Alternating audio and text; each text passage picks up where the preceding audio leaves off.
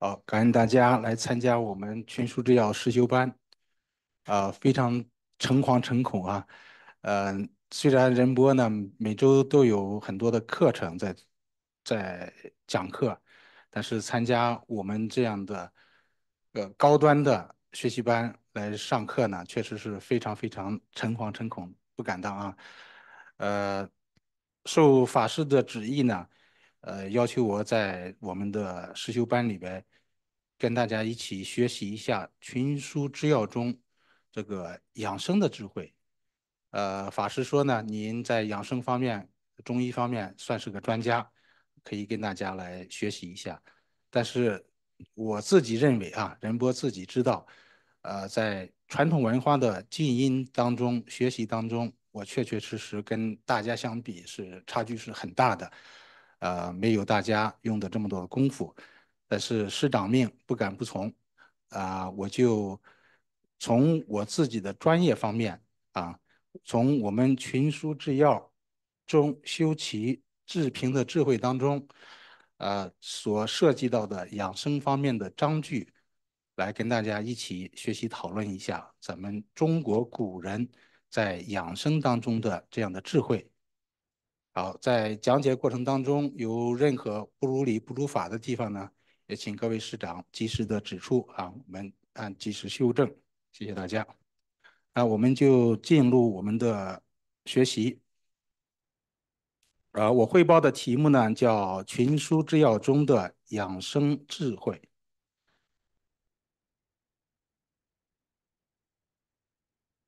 好，首先呢，我们看看我们。古人啊，我们中医怎么样对人是一个什么样的认识啊？学过中国传统文化的人，或者是对中医有个基础知识的人，就会知道啊，我们中国古人呢，把人分成三个部分啊，形、气、神。一个生命是由这三个部分组成的，形呢就是我们的肉身啊，形体的结构，我们脏腑。啊，这些外在的、内在的这些结构，啊，包括中西医的解剖的啊，组织器官这一些类型。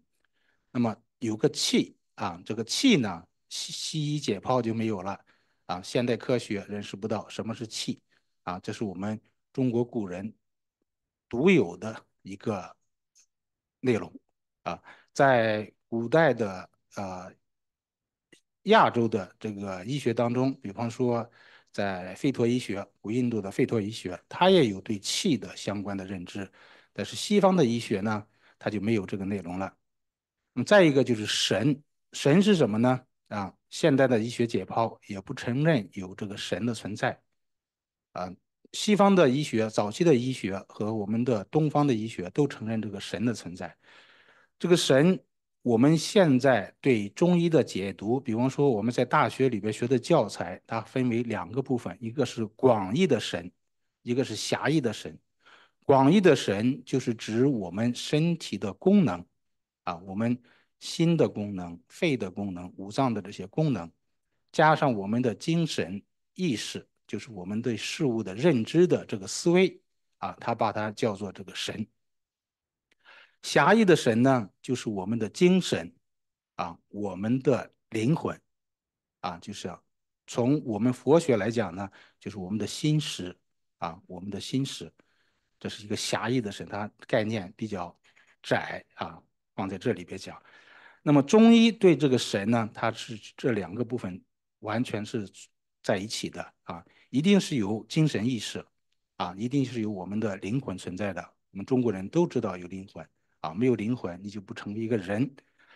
那么还有一个就是我们的脏腑的系统的功能，而不是指单一系统的单一脏腑的功能啊。比方说我们讲心主神，那么心就是心的系统啊。我们讲心，人体啊有五大系统：心、肝、脾、肺、肾这五大系统，每一个系统都主不同的神的一部分。但是呢，心为神之大主，是一切的精神都是。由心所主导的，而中医这个心呢，并不是单指我们的肉团心，像我们学佛都知道哈，一个肉团心，还有一个心识啊。中医的这个心主神，就包括这两个方面啊，既是肉团心，又有心识这一个方面的内容。那么中医的心呢，还主血脉啊，我们的血脉就是西医所解剖的这个血液循环系统。那西医的解剖的循环系统，它没有主神这个地方啊，他们认为神都是大脑的功能啊。而中医在历史的发展过程当中，有两个啊，心主神，还有脑为神之府。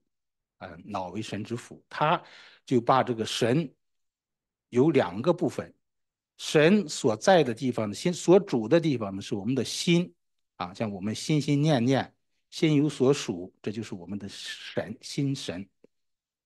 而心神产生的部位、作用的部位是在哪里呢？在脑啊，通过脑来产生我们一切的思维啊、一切的分析啊，都是通过脑这个器官。来产生的啊，我我给大家在讲课的时候，我说这个心呢，就是我们的主导的思想，就是一个人啊，这是我们的人。这个脑呢，就是我们电脑的 CPU 啊，它是来通过我们这个心的主导，然后呢，这个 CPU 按照你的指令来去做分析、推导、演算，产生各种各样的事情出来的。所以说，这个神呢，是中医对他的认知啊是非常全面的一个。那么气到底是一个什么东西啊？中医的气啊，一个是呼吸的气，一个是胸中之大气，也叫中气，还有脏腑之气、经络之气。那么整个的气呢，中医也有的说法呢，就是脏腑功能的一个反应啊，内在脏腑的功能啊，以及脏腑功能在体外所产生的这种现象。比方说，我们的面色红润呀，有光泽呀，哎，这个人神采飞扬啊，神气非常有神气，哎，这个气就出来了。气呢，如果表现的好了，就看到一个人的内心的世界、内心的状态，也会显现你这个身体的功能状态。那么这个气，你要想去描述它、抓到它是很难的啊，它是是形是有体的、有质的啊，像我们中医啊，哈。这个形是有有质的啊，包括我们精气神也是这样，精也是有质的东西，是物质的。他首先承认这个世界是物质的，但是世界又是精神的啊，所以形和神，我们中医一直认为，一切的人如果要是一个正常的人，有正常生命活动的人，一定是形神合一，这两个要合在一起啊，和谐的。谁把它和谐在一起呢？就是这个气，啊，我们在讲经络系统的时候，经络是什么样啊？经络是一种看不见的无形的结构啊，啊，昨天星期天的时候，我们在英国一个很著名的一个庄园里边，叫大西庄园，就是《傲慢与偏见》的拍摄的地点啊。我们刚刚开了一个非常大的一个国际性的会议，啊，我们就讨论了这个，有个师兄呢，专门在研究这个经络的。解剖结构，那么经络解剖结构有没有？没有，它不像神经、血管这样一个固定的结构。中医的经络的解剖结构就像我们房屋一样啊，我们需要一个房屋，就要建造四周的墙壁，盖屋顶。那么这个结构空间里边这个空间就是气所通行的地方。像我们结构起来了，哎，把内外的气割开了。外边的气现在是寒冷的，内在的气是温暖的。外边的气是流动的，内在的气呢相对是安静的。所以说经络系统呢，像我们每个桌子每个桌子之间又形成了一个通道，人与人之间的小的缝隙，这又是通道。我们中医的经络就是这样啊，在结构形成了以后，它为了让结构产生功能，而在这个里边运动的一种能量。你可以是风吗？不是风，啊，它是一种能量体。那么你想找它的捷报，从现代科学去找它的结构呢，是找不出来的。但是它确确实实是有功能存在的，啊，这是一种气。那么这个气呢，它就是把形和神结合在一起的一个物质啊，我们可以把它称作物质。在我们中国古代传统的智慧当中，气是非常非常重要的啊。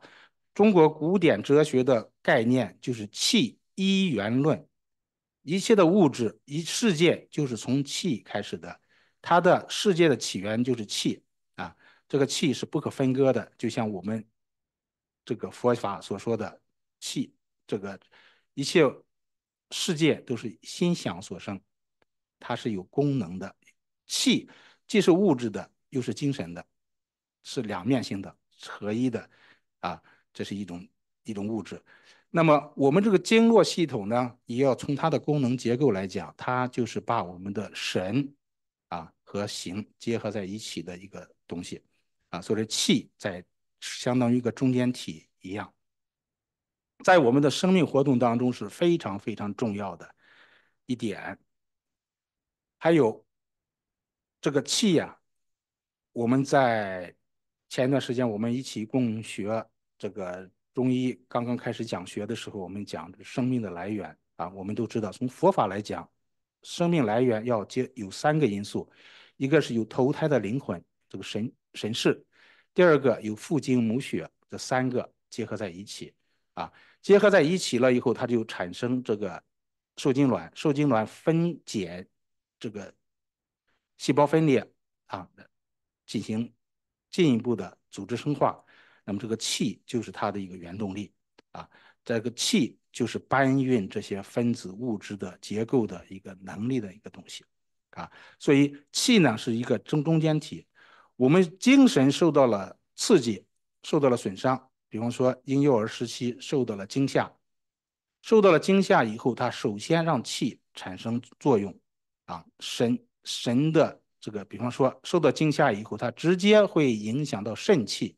啊，肾气亏虚，肾气亏虚以后，它就会再进一步的影响到形体，影响到肾的功能，啊，它是一个转化，啊，精神的刺激，我们生气了，生了气以后，气郁、肝郁、气滞，啊，这是最基本的一个中医的理论，气郁了，然后再行到身体上面来，作用在肝脏和肝脏的系统上来，啊，慢慢的这个胸胁胀痛。有了形的这个病变啊，先是精神的病变，然后通精神的病变呢，导致气的迅速的凝结啊凝，然后再到这个形体上来，这个所以说这个形呢是一个中间，气呢是一个中间的结构，或者是中间的一个转化的一个方面，在中医我们的理念当中，这是就是阴瘀治病。哎，精神刺激，这就瘀了，气瘀了，然后治病，导致形体的病。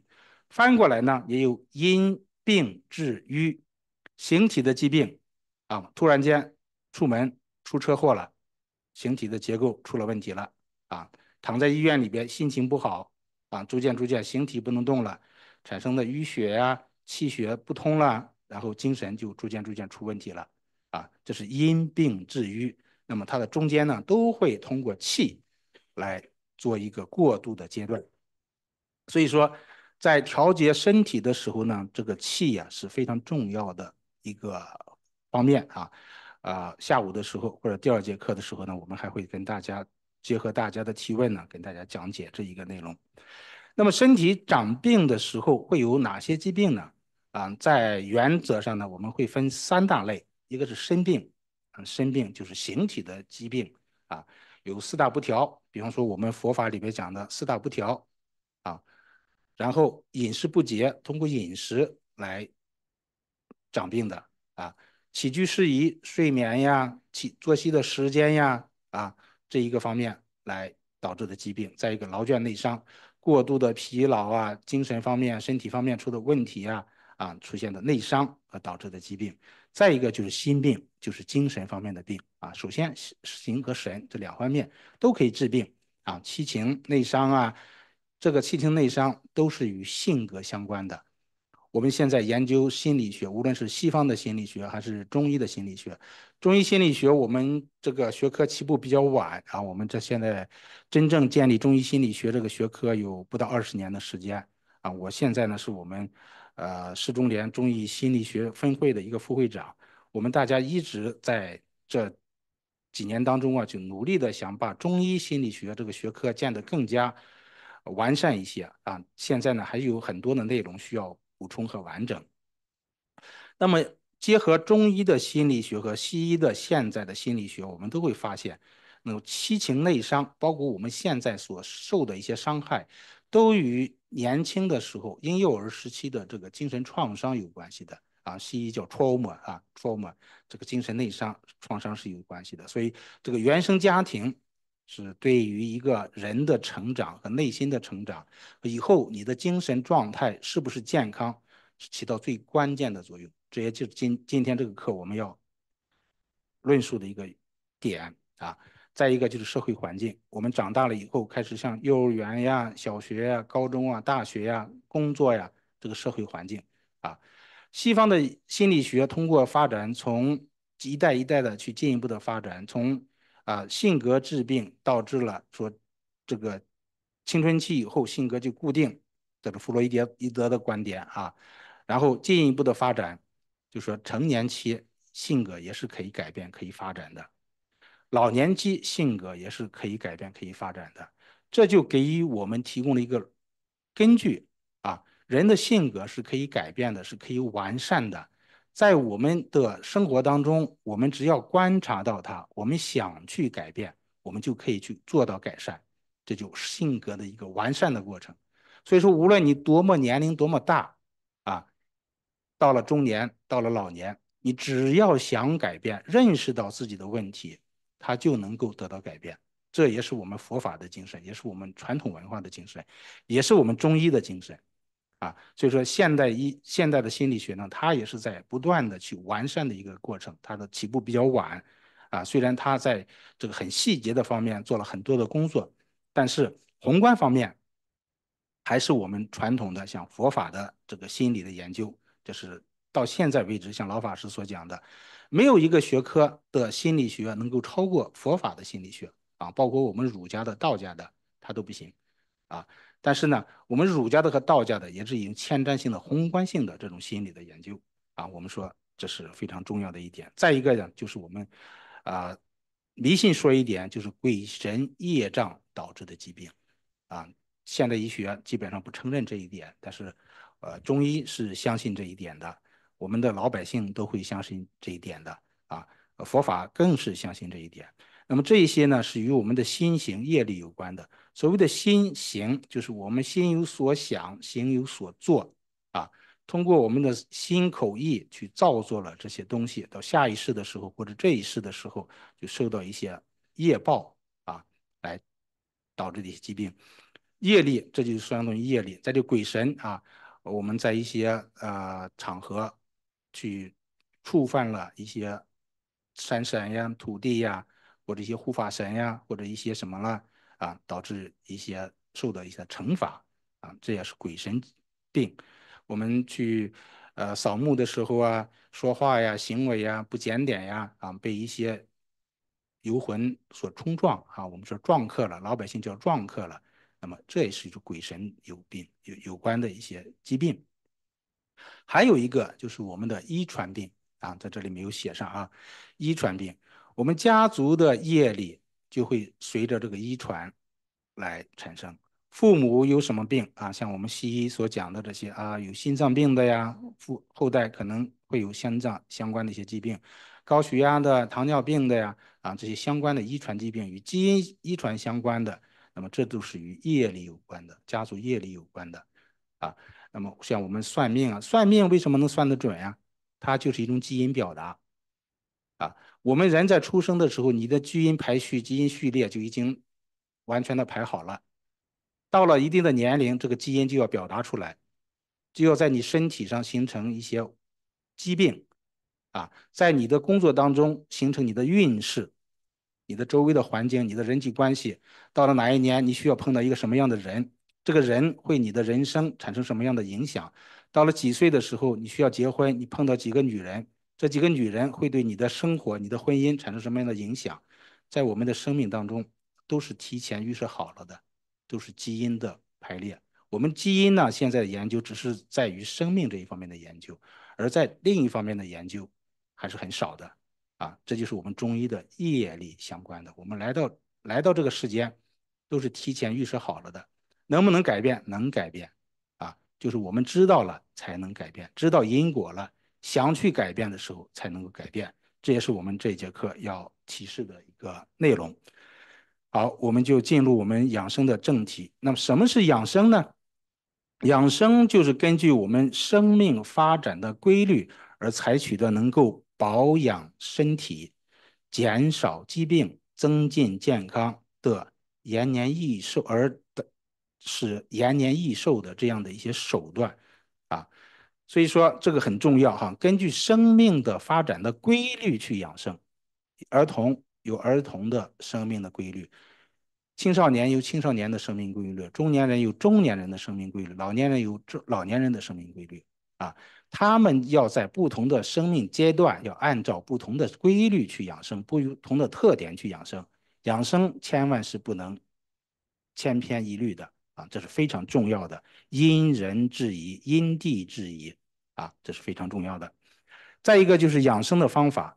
传统上，我们中医的养生方法是通过第一个养精神，第二个调饮食，第三个练形体，第四个接视域，第五个视寒温，啊，主要是这五大系统来去实现的，达到这样的啊，减少疾病，锻炼身体，增进健康，从而延年益寿，达到这样的目的，啊。这个排列的顺序呢，大家应该可以看到哈，养精神是我们养生的第一要素，后边的饮食啊、形体的练形体啊、我们运动啊、啊修炼呀，这是另一个一方面。基饮食啊，就是我们的饮食习惯、饮食的方法。适寒温就是我们要根据四时而养生，每天的天气的变化而养生。还有呢，就是。包括了我们的起居啊、睡眠，这是养生非常重要的一点。那么在我们这本书当中啊，《群书治要》中养修齐治平的智慧当中啊，有共四大章节，分别是修身、齐家、治国、平天下。那么在这里边呢，在第一部分啊，在修身里边的最后一部分“鬼健康养生”里边有。三段京剧是讲我们养生的，集中讲养生的啊，也给我们提出了一个养生的指导原则，就是治身太上养神，其次养形啊，这是一个指导原则。后边的其他的呢，反而是养生之末。那么他明确的指出了养生的关键就是养神，所以说在其他的四个篇章当中呢，特别是在修身。齐家这两个当中啊，分别对这个养神做了一些论述，很多观点在这里边。其实啊啊，我们的养神、修身养神，不只是在修身齐家里边，在治治国平天下里边是也是存在的啊。说明呢，这个修身是我们养生的根本，也是我们处身立命的根本。修身首先是我们自我的修养，精神、思维、道德的修养，啊，这是我们自己的事情。齐家就是在家庭中做修身，在我们的五伦关系中修身；治国就是在大的环境中修身，就是在我们的单位工作的单位当中修身，在我们的社会团体当中修身；大的官员就是在治理国家当中修身；平天下。就是我们自己在五湖四海去修身，不同的像我们在海外，在不同的种族之间去修身，建立这种关系，啊，所以说这个修身呀，并不只是我们一个人在某一个阶段的事情，而是贯穿在我们整个事业、整个生命当中，啊，时时处处都是在修身。所以，这个养精神呢，也是我们要时时处处都是要养精神的。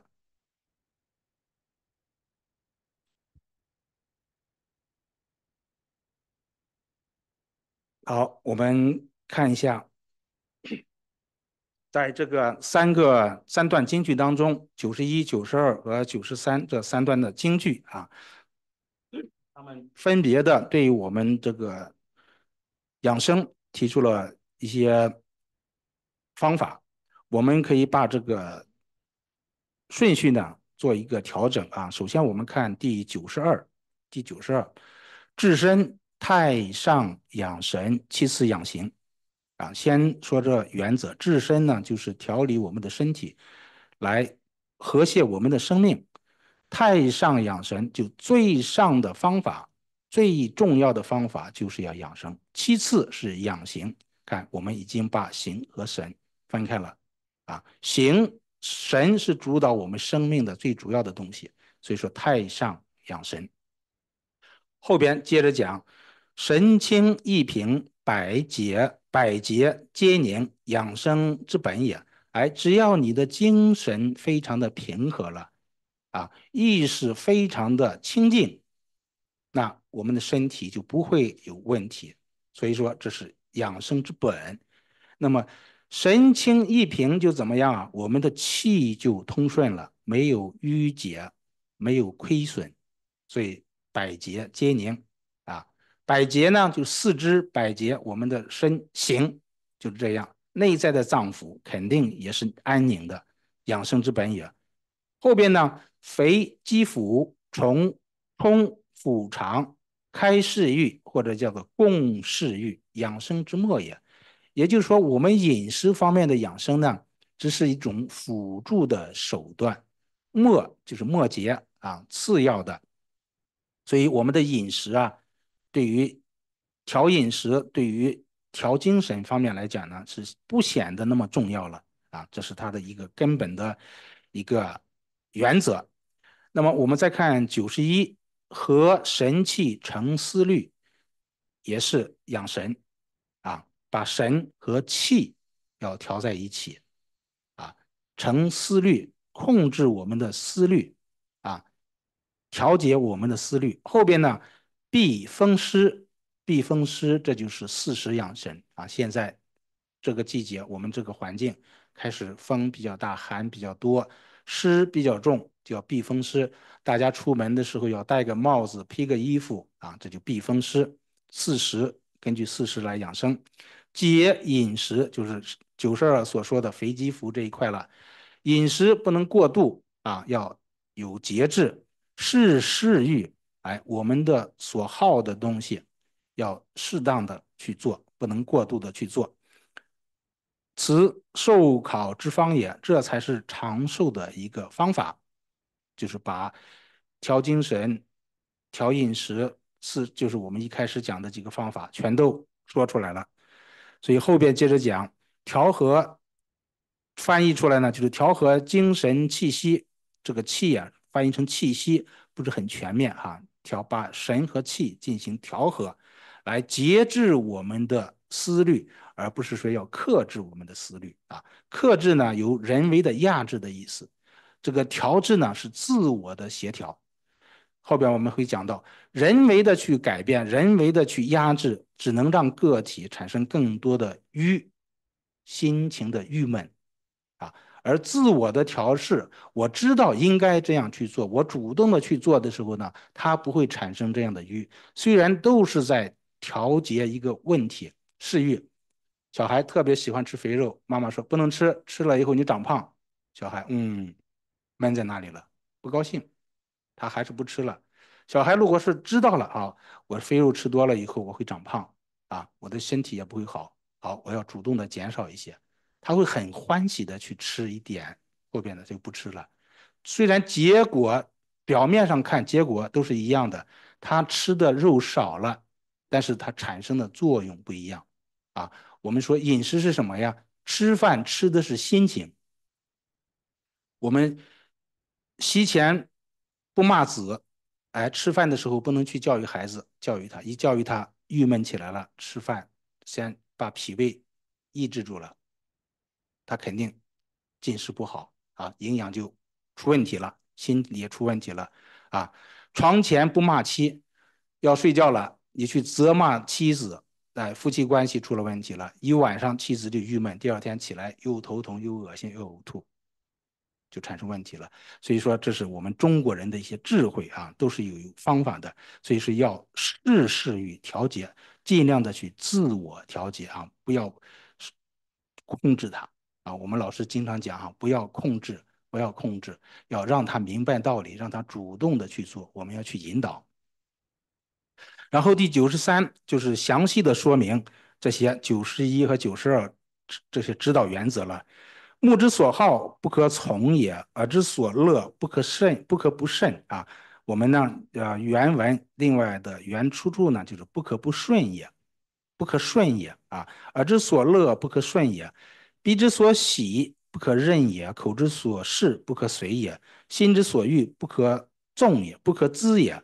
哎，这是先告诉我们，这是我们的五官啊，我们的窍啊。我们说中医讲五官七窍啊，我们这些口窍窍啊，都是与五脏相通的，五脏相通的啊。后边要讲又又讲到为什么不可以这样做，比方说，故或目者必易容先早也，或耳者必咽音咽音音声也，或鼻者必指会吩咐也。或口者，比真修加职也；或心者，比势力功名也。五惑出来了啊！然后在后边，五惑必五者必惑，自惑成之惑，则惑成之惑为身患者，不亦信乎？啊，就出了问题了。是一，其疫情也，惧乎？提防之备绝，其欲性也过乎辅配之成奔，故能内保永年，外免信累也。啊，那么后边这个翻译呢，大家可以看一下啊，可以看一下我们的课本上面都有这一个，我们就翻回来再看一看古人对我们这个所嗜好的东西是怎么来教导我们的。目之所好是什么呢？必是。易容先早也，一定是啊，一个男男的啊，小伙子看见一个漂亮的美女啊，打扮的很漂亮，然后穿的又很华丽，就目不转睛的看啊，走了以后不小心嘣撞到电线杆上了，这就是看一个不够，再看一个，再看一个，完了就怎么了？哎，故惑目者了，他就惑目了，哎，我们的眼所观的你。逐渐逐渐，心神进入进去以后，你就不能自拔了。慢慢慢慢，就让自己产生迷惑了。最后的结果，从目过到心啊。我们的目本来这个五官，我们都知道啊，目这个器官和我们的眼根是不一样的啊。看到的东西和我们我们马上就反应，直接在在心里边反应，美好的东西马上就反应出来了。所以说，不能让自己迷惑沉迷进去。啊，不能沉溺进去，而耳之所乐是什么呢？比咽音音声也啊。每个人对音乐的嗜好是不一样的。情志比较内向、压抑的人呢，就喜欢比较低沉的、舒缓的音乐，他就一直喜欢听这样的音乐啊。比较兴奋、奔放的人呢，就喜欢高昂这种快乐的音乐啊，蹦迪呀，去做什么就喜欢这样的音乐啊。这样就是偏好了。你我们治疗很多抑郁症的病人，心情不好的病人，我们要怎么办呀？逐渐逐渐从他所好的这个低沉的音乐里边，逐渐给他加入一些欢快的音乐，慢慢慢慢慢慢慢慢让他的心神哎引动起来，让他气机流通起来。长期的低沉压抑，气机就会瘀滞起来了。欢快的音乐就像水流一样，哈啦哈啦哈啦在那流，哎，它就会气机跳动起来，流转起来。所以说，你老是好色的人呢，就是这个靡靡之音就特别喜欢听，哎，他就沉溺进去，就自拔不了啊。所以说，无论你特别喜欢一些低沉舒缓的音乐也好，特别喜欢一些高昂奔放的音乐也好，我们都要不要过于偏在这个方面啊？都要协调。音乐，宫商角征羽啊，对应着五脏，它会要五脏要平和的。这是或耳，或鼻者呢？鼻之所所喜，必珍馐佳之也。一定是最好吃的、最美味的东西，一定他喜欢的啊。我们说吃素啊，我们吃素，我不喜欢这些高粱厚味，不喜欢大鱼大肉，但是我喜欢吃豆腐。你喜欢吃豆腐是吃豆腐本身呀，还是吃豆腐那个味道呀？我要把豆腐做成鱼香味的，我要做成牛肉味的。我要做成羊肉味的，那么我们还是喜欢那个味道，而不是我们要汲取它的营养物质，对吧？我们还是有所好的。我们吃素，看我们的素食现在多丰富啊，什么味道的都有啊，全部都做成了 动物味道的这种素食，那么说明我们心里边还是喜欢有这种喜好执着的啊。你有这样的喜好可以，但是不要过度的让自己沉迷在里边，不要产生这样的惑，惑就错了，或，就会产生一些问题啊。我就喜欢红烧味的。糖醋味的我不吃，哎，红烧的又有咸又有糖，糖醋的你却有醋啊，我不喜欢吃醋的。我们五脏偏湿的时候呢，他就会喜欢他偏湿那个味道。肾气虚的人，他就喜欢吃咸的；肝虚的人，他就喜欢吃酸的；脾虚的人，他就喜欢吃甜的。我们知道了这个规律以后，我们就要适当的去协调这个口味啊。惑鼻者必。鼻之所喜，不可任也啊！惑鼻者呢，必只会丰富也。我们喜欢不同的花香、不同的味道、不同的化妆品啊。现在我我有一个朋友是专门做化妆品的，他说世界上这些化妆品所有的香味、花的味道，你们喜欢的味道，我都能给你们做出来、调出来，而且很便宜啊。我们喜欢檀香味的，我们就只闻檀香，哎呀，让我很高兴。一闻到其他的味道，我就不喜欢。这就是祸了啊！这就是祸了，不可任也啊，就是不可放纵自己啊。然后心之所欲是什么呢？比势利功名也，就是功名、文明、名闻利养啊。我们老法师一直在告诉我，名闻利养，这都是我们所不能够，不是说不能追求的啊。我们工作，我们生活，你在生活工作的过程当中产生这些，给你升职了，给你加官了。给你高的工资了，好好不好？当然好了。我们有更多的能力、更大的责任去服务大众了。我们可以收入更多的钱财去做一些事情了。但是我们不执着在这个的，不惑在这个方方面啊。有了我就有，没有了我就没有。哎，哪一天你退休了，哪一天你你你辞职了、调任了，都可以，都可以，不执着这些东西。所以无者必惑呢。第一个完了以后，或成之祸完了以后，你就会因为你偏听偏从而导致这种祸患。为身患者不以幸哉？为身患是什么意思？导致身体的疾病，通过自己的耳目鼻口舌心这些视欲而导致了身体的疾病，在临床当中看的很多呀。啊，糖尿病的、肾病的，多少是通过这样的来的呀？通过视欲来得来的疾病啊！啊，所以其疫情也具乎提防之备决。这个疫情呢，还是调畅情志，不是抑制情志啊。我们在这里边呢，要加一个区别，就像防备这个筑筑大堤一样啊，防备这个叫决堤。我们中国古人啊，大堤黄河之堤。一定是要在黄河干枯的时候、水稻少的时候去加防筑堤，而不是水汛来了才去筑堤，那就晚了。哎，平常呢就要注意，像我们身体好的时候，我们就要注意养生，不能等到身体病了才去养生，那就晚了啊！这是我们古人的智慧。其欲性也过乎辅配之成本，哎，那调畅我们的性情，这个欲性像孙悟空一样，孙悟空。啊，心猿意马，他没有自己的一个不控制自己的啊，随意去做什么事情。但是我们人就不行啊，我们要调畅自己，来节制自己的性情。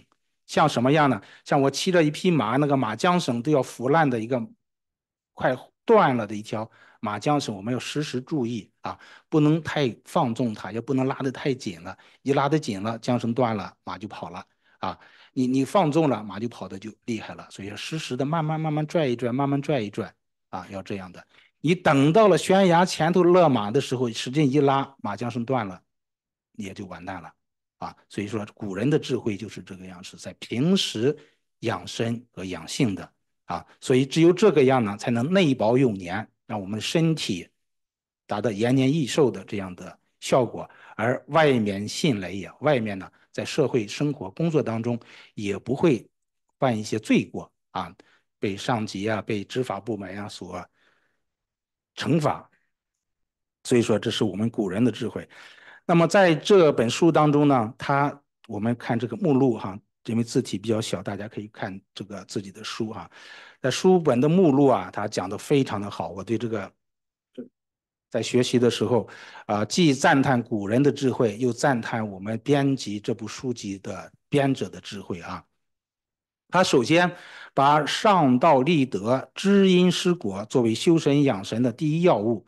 然后在这个基础之上呢，再进一步的以主静存诚、反躬内省来改过迁善，以持之以恒的去督守五常来静心节欲、安养五脏。啊，一会我们讲为什么要督守五常？五常就是仁义礼智信啊，它和五脏是相通的。以孝敬仁义为治家之道，以孝悌传家、夫妇和顺、教子以正。善友相交为立身处世之根基。那么，在这样的一个修身齐家之道，不仅能够让我们自己达到了身心安定、夫妻琴瑟，更重要的是为我们的子女创造了一个幸福、和顺、积极向上的一个家庭环境。这样培养出来的下一代，无论是性格、学问、做人。都是青出于蓝，肯定要高过我们的。相信在这样的家庭当中生活的老人，我们的父母辈啊，子女一定是和乐甜适、健康长寿的。所以说，在五伦关系当中啊，我们这个夫妻关系啊是最终的一轮。首先，我们看上道立德、知因施果啊，这是为修身养神之第一要务。啊，昨天的时候法师也讲了这样的一个内容啊，知因施果，因果能够了解因果、认识因果、相信因果，是我们能够自我转变、自我审视的前提。你不信因果，你怎么去改变？啊，你不识道德，你怎么去改变？没有道德是非的观念，观念你怎么改变呢？所以说，在这个书上边呢，就讲了很多。首先，像立德，什么是德？君子务本，本立而道生。什么是本呀？孝悌者，其人之本于。最根本的东西还是孝悌啊。上对于父母要孝，中对于这个同伦要悌，下对于子女要慈啊。这是根本的东西，还是站在我们这个中年人夫妻这个角度上。来提的，子曰：“夫孝，德之本也。”这个孝是最根本的道德啊。我们学《道德经》也好，学孔子的、儒家的、法家的这些言论也好，这都是最根本的一个东西。那么知因果了，和气致祥，乖气致义，祥多者其国安，义者义重者其国威。实际上放在家庭里边也是这样的啊。所以说，祸兮福之所以，福兮祸之所伏，孰知其极？啊，我们要知道这个，我们为祸一定报恶啊，为善一定要报德，知道这个才是好的。盖德厚者报美啊，我们修养道德，道德很好的人，一定有，一定是有好的这样的果报。故曰。德莫大于仁，而祸莫大于刻，就是刻薄。前几天我们在学习这个《太上感应篇汇编》，专门学到了这个刻薄嫉妒这一篇章啊。刻薄嫉妒啊，呃，相对来说女性的这个心理特点会多一点，男性会少一点，不是没有啊。所以说，我们作为妻子的哈，首先要反省自己这个嫉妒、刻薄这一个方面的一些过失。嫉妒呢，现在犯的可能会少一点，但是刻薄会比较多。对丈夫过于苛责啊，对婆媳自己的父母过于苛责，对子女过于苛责，过于苛责了以后，你就去要求他做的更多、更多、更多，这样呢是导致这个夫妻关系和家庭关系的呃转向一些呃恶劣的一个根源。好，我们继续往下看，以主敬存诚、反躬内省来改过迁善啊。啊，一分诚敬得一份利益，不只是自己的利益，家庭、社会都得到利益啊！我们要知道去自省、去改变，知道了道德，知道了因果，那我们就去有真诚心去改过迁善，这是一种主动的改过啊，不是被动的改过。以督守五常来静心节欲、安养五脏。五常就是仁义礼智信，像我们经典这上面所讲的。啊，像丙真实学问里边，好学近乎智，力行近乎近于仁，知耻近于勇，智仁勇君子之三德具备了。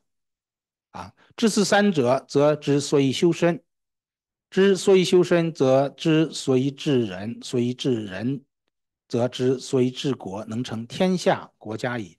啊，你知道了这有这三德，我们的立身。就立住了，在家庭里边你就和美了，在单位上你也就和美了，你不会有很坏的人际关系。这是有了这样了，然后就告诉我们怎么样立人。仲春之月，养幼少，养幼少，存助孤，命有司，省凌雨，去疾库，去智库，目肆略。母节川泽无力悲池，乌坟山连。这就告诉我们，仲春之月就是刚刚立春，春生发的时候呢。春天是生发的季节，一切生命动物都是在这里生育啊。我们的肝脏是在这里生发，肝气在生发，也是我们身体一年的身体要在这春天里边得到一个长养。这个时候呢，一定要行仁政。啊，不能过多的去杀。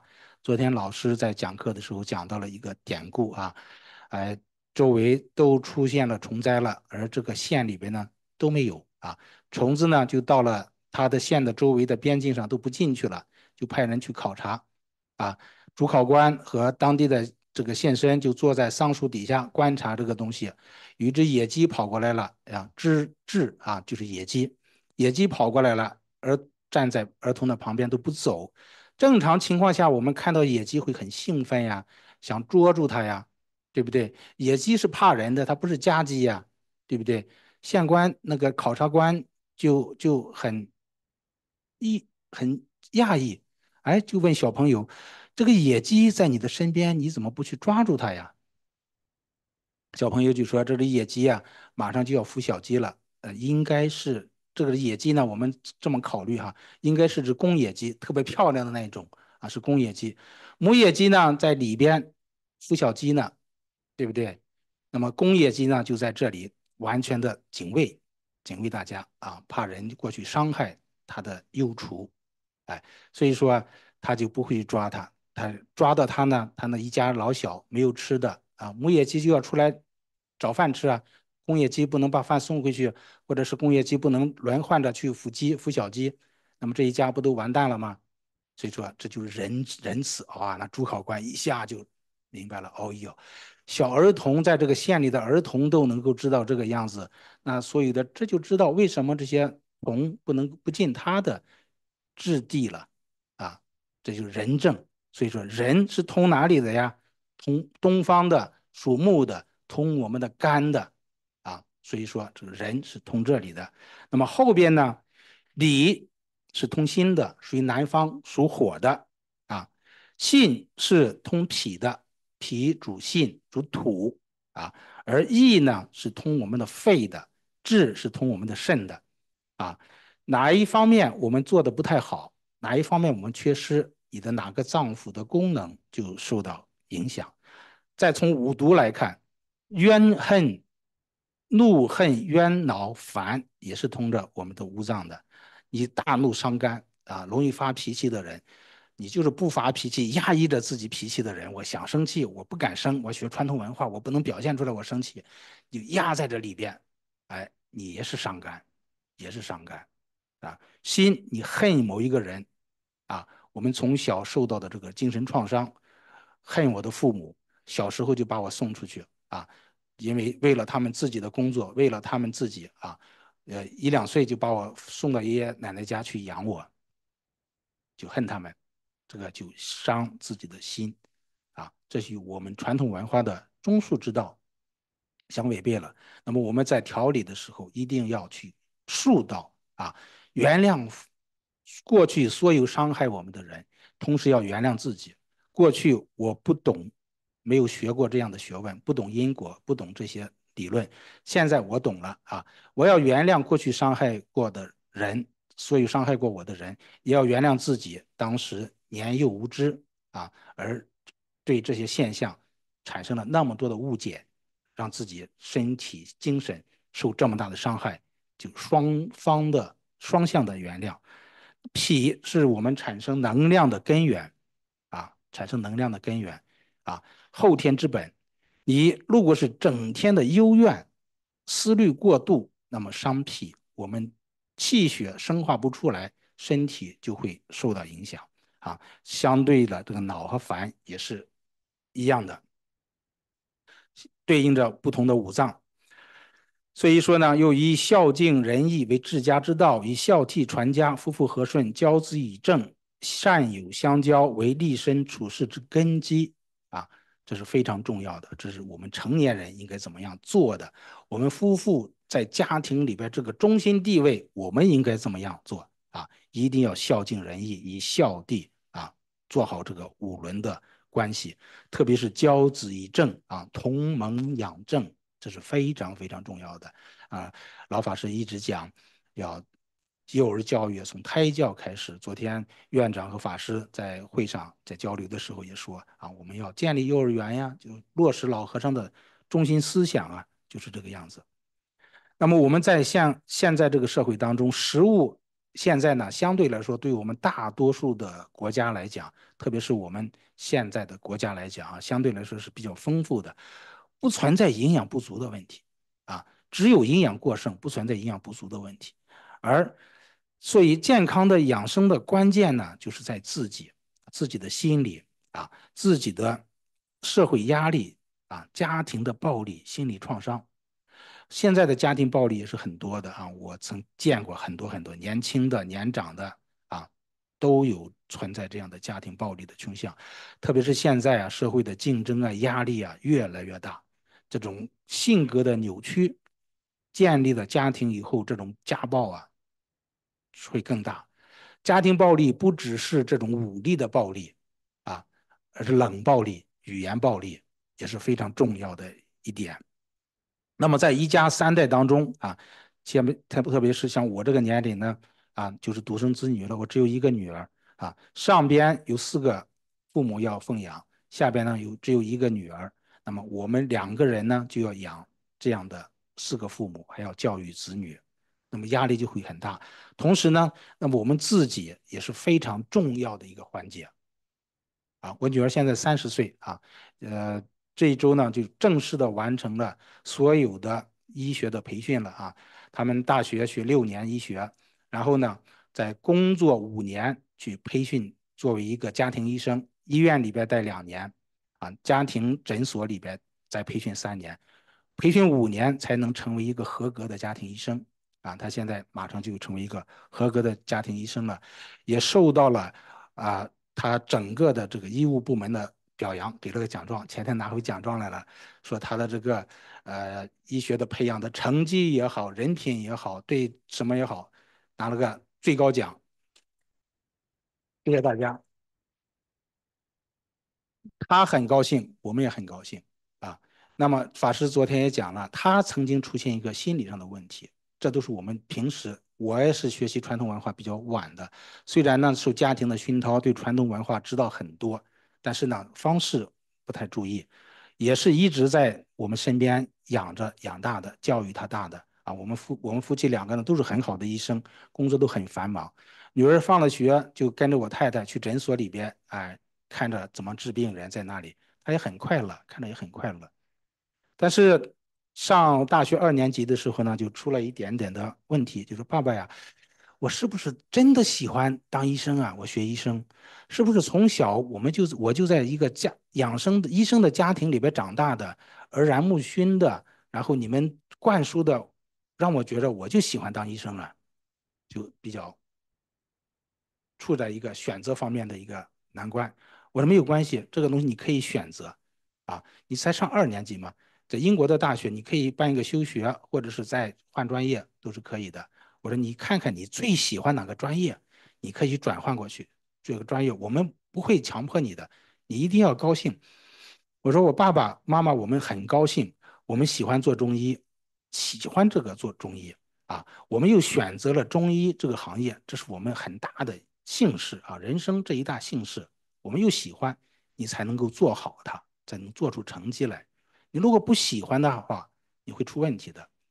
然后呢，我说我给你做心理咨询呢，你可能不太相信，你就找一个心理医生，找了心理医生，心他就把他的讲述的东西，心理医生说，哦，小的时候爸爸妈妈对你过分严厉了，可能让你缺少这个自主选择的这个问题。然后呢，回来给我们回馈。我说我们也没有给你压力啊，比方说你二年级的时候，你就说爸爸考第二名、第三名很好的，我不用考第一名。我说为什么呀？考第一名压力很大呀。你天天考第一，你下次你又想着我还要考第一，我不考第一，到了第二名、第三名很难看，嗯，心理上不舒服。啊，第二名，第二名吧，啊，下次不小心考了个第一也挺高兴，掉到第三名也挺高兴，哎，我就不存在心理压力，哎，我这太好了，就这样。学习的目的不是为了争名次，而是你学到这个知识，你具备这个知识，从那他就知道啊，不会说为了这个名次去争，就是为了学习才去这么做。这一点，那么另外一个问题呢，就是说，他说，虽然你们没有要求我，但是呢，我们在吃饭的时候啊，交流的时候啊，你们会经常提到，哎呀，谁谁谁家的孩子呀，哎呀，这次考的特别好，去了哪什么什么那地方去了。你虽然没有说我，但是我觉得你在跟我比较，哎，就是我还不够好，我不够好呢，你们就会失望。哎，我说我真的是没有这样的想法。他说：“但是呢，我是这么想的，所以说他一直学习很努力的，学习很努力的，就从高中毕业、初中毕业以后，就考到一个很好的重点高中里边去啊，在英国也是公校里边，呃前十名的，然后又考到了帝国理工医学，帝国理工医学是在英国是第一名的啊，在全球也是属于属前两三名的医学，那么顺利的毕业，拿到了优秀优秀奖毕业，工作又很好，哎，突然间。”两年以前，这有三年了，这样的三年了，我们两个出去散步啊，遛狗。爸爸，我有点抑郁了。我说为什么抑郁？不可能的，你只是压力太大而已。我看不出他抑郁的症状来。他说我是抑郁了。我说什么症状啊？他说最近一两个月啊，我上班那个时候，COVID 的就是这疫情期间啊，他在急诊上班。哎呀，我开着车去上班，总是想一个念头出来，哎呀，来个车给我出个车祸吧，把我撞了，我就不用上班了。嗯，上班面对的压力太大了，有很多病人我治不过来，啊，病人有那么多，我又不能花很多的时间跟病人交流，我他们都有规定的啊，一个病人只有几分钟的时间交流，马上就要出房有处理，因为人员缺缺损缺乏，所以他的压力很大，啊，我说这是抑郁了，马上跟领导请假，我们调理，啊，他说，哎呀，爸爸，我以为我告诉你以后你会觉得很失望，啊，觉得我给你丢脸了，我说怎么可能呢？你是我的女儿，你无论做什么，我相信你不会做恶事的，你不可能让我丢脸的，你这是我的荣耀。哎，他就很高兴，然后就我们做了全方位的调理，从医学上，从心理上，从这个各种角度啊，从这个佛法上、因果上，我们都做很多的调理啊去做，很快就转回来了，一个月就上班了现在也是非常好的。所以说，通过这个例子呢，法师也在讲，我们也是要。父母啊，要学会观察自己的子女，要对自己的言行呢做一些负责任的事情。很多事情是我们在孩子小时候，我们不经意的一句话，他就会出问题了啊！这几天在国际交流会上，我几个师师弟师妹啊，带着孩子也来看我，很多都是这个样子的。我们父母总是觉着我已经尽我的全力去爱他了，为什么还这个样子？我说你的爱不是他需要的。一定要用他想得到的那种爱，你去爱护他，关心他。这个孩子说：“爸爸妈妈，这个杨伯伯说的真对啊！我知道你很爱我，我也没有怨过你。但是呢，你那种爱给我是压力，不是我所需要的。你从来没有安安静静的倾听我的讲话，倾听我的什么，只是说没关系，嗯，去做就行了。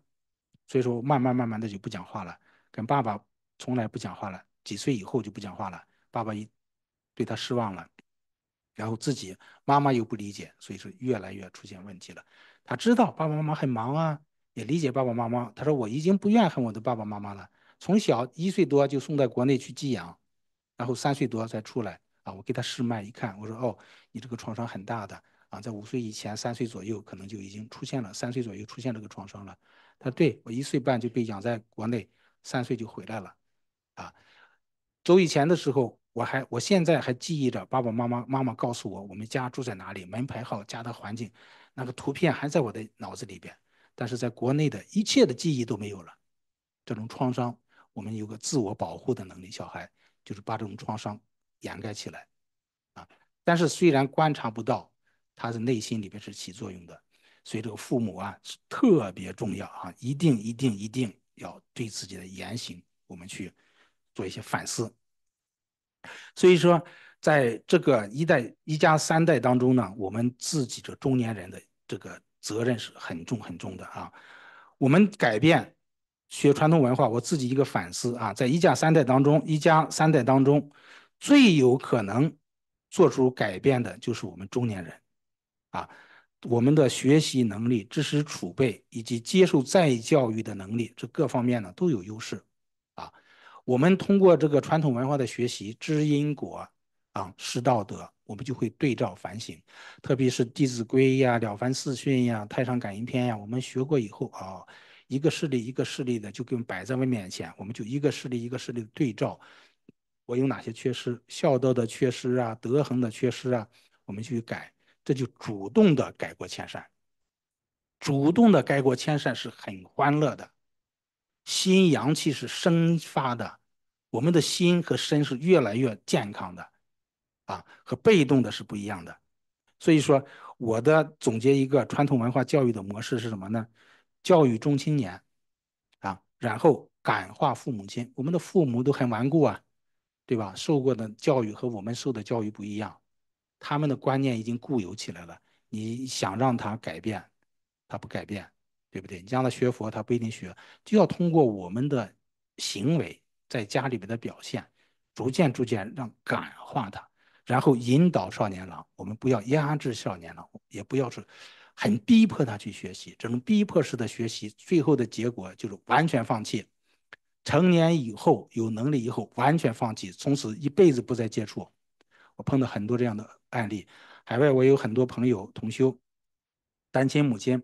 费尽心思的把孩子送进了高等大学，一进入大学以后就和父和母亲断绝关系了，伤心找我哭。我说为什么呀？你给他的爱不是他需要的，你控制了他，亲爸爸没有了，啊，离婚了，然后你又把他占为你的私人财产，控制他，用你的爱去爱护他。他小的时候很好啊，给我做生日贺卡，给我做蛋糕，那么小就知道给我做蛋糕。为什么上了大学以后就就变脸了？我说他现在有能力去改变了。小的时候他脱离不了你的掌控，很多这样的案例啊。所以说我们是要反思的，对少年、对青少年一定去引导，跟我们一起学习啊。我包括我对这个刚才讲的这个例子的小朋友说，我说父父子啊，你们两个先不要去交流。谈心是谈不在一块的，几句话就崩，什么办法呀？跟爸爸一起去做运动，一起跑步，一起打球，一起做一些运动。男人之间一定要靠身体的接触来建立感情，在一起啊，对抗运动啊，做什么呀？大家想想自己和爸爸啊，整天小的时候骑大马呀，做什么呀？都要靠身体的这种接触来建立这个亲情。当你这个亲情建立起来的时候，你就过去抱抱他呀，扛扛他的肩膀啊，哎，开开玩笑啊，这时候你们心就在一起了。你要是在一起说理，说着说着就是你的错误，我的错误，你的错误，我的错误，就崩掉了，不可能谈在一起的。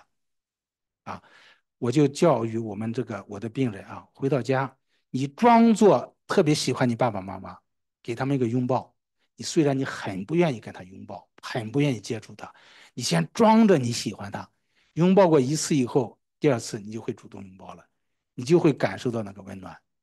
所以这是一个很好的办法，大家一定想办法做到这一点，跟父母、跟子女多做这个身体的亲密的接触，非常重要啊。好，这是一个总结哈。五伦关系当中呢，夫妻关系处在最核心的位置，所以呢，在本事当中，修身齐家、重孝道及夫妻和顺，营造和顺、和谐柔顺的家庭，让中青年夫妻成为改变家庭关系的原动力。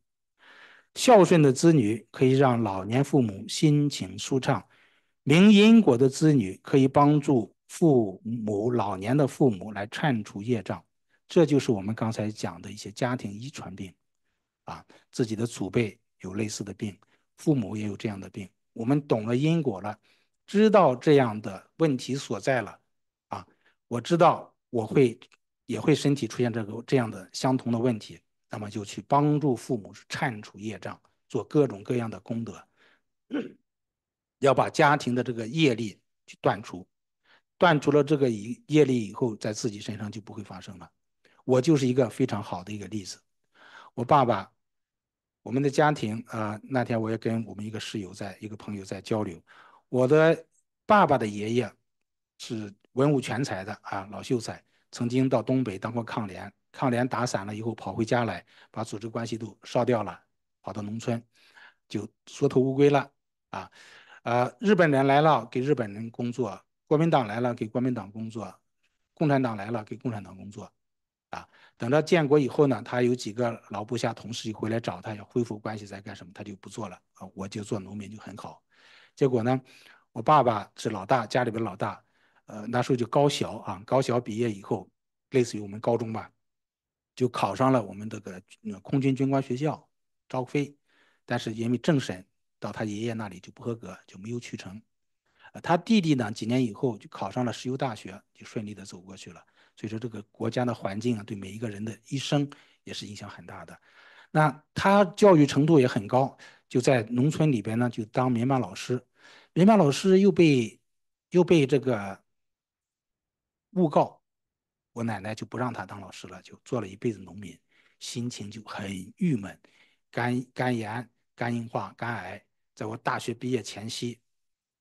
就去世了，在我面前去世了。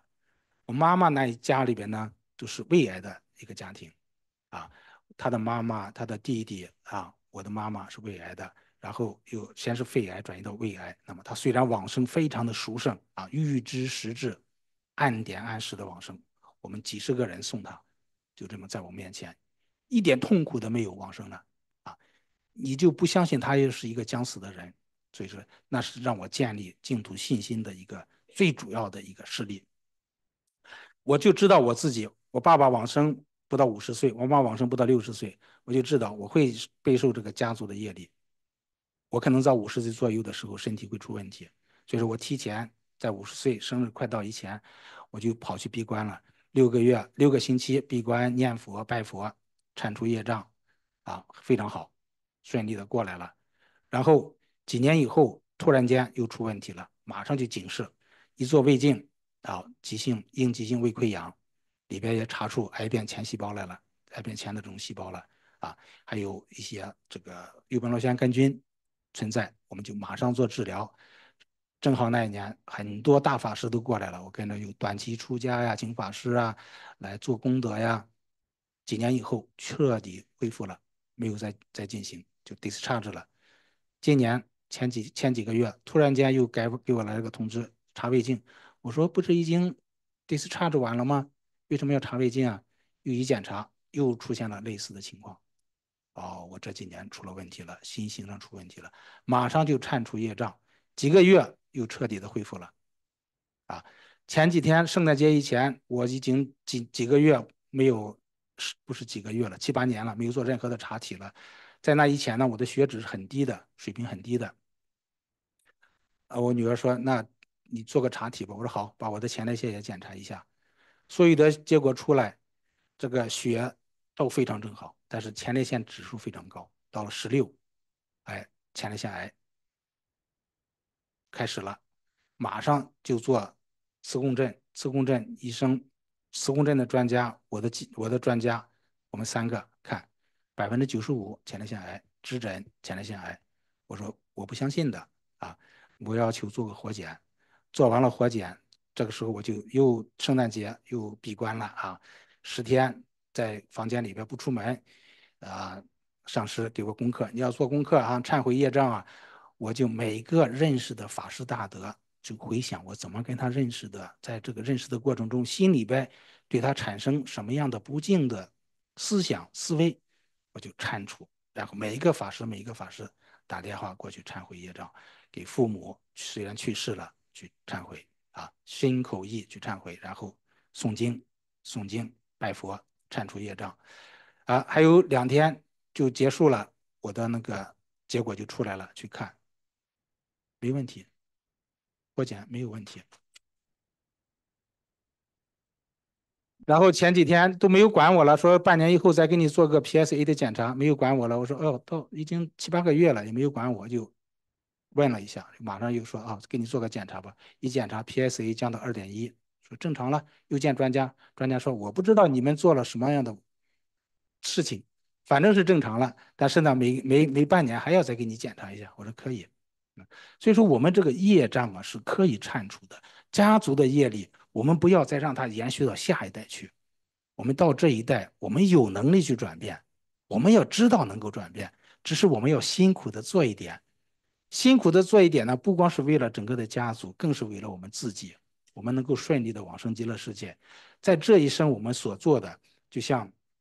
我们院长在前几天香港大会上啊，除了主修以外，还有助修啊，铲除业障做功德，这都是助修啊，要断除我们家族的这个传下来的这些东西。那么家族传下来的东西呢，用现代科学来讲，就是基因的一个表达。好，这是我们所要做的一个事情。所以啊，这是我们呢。呃，今天的基本上所有的内容啊，对于有这个问题的心理问题的人，我们要进一步的去做一些功夫啊。呃，问答环节的时候呢，欢迎大家去对这些问题做一些提示啊，我们可以回答。那么今天的课程就到这一这一节，好，谢谢大家。